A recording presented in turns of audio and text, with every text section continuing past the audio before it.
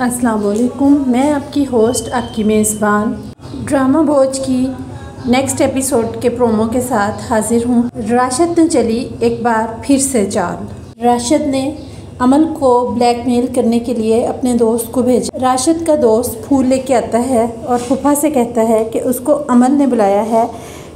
क्या फूफा को इस बात का यकीन होगा? अमल क्या करेगी? क्या अमल सच्चाई बता देगी कि वो इसको नहीं जानती? फूफा अमल के साथ अब क्या करने जा रहा है? अमल बहुत परेशान है, रोती है।